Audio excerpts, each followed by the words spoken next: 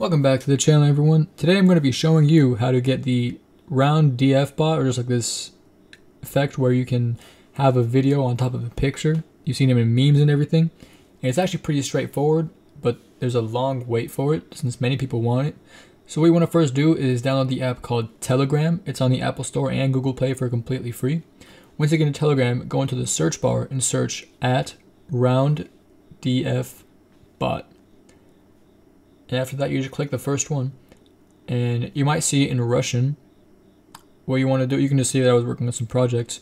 What you want to do is just type slash n, which means English. And it tells you through every step you need. You just do, click the start button.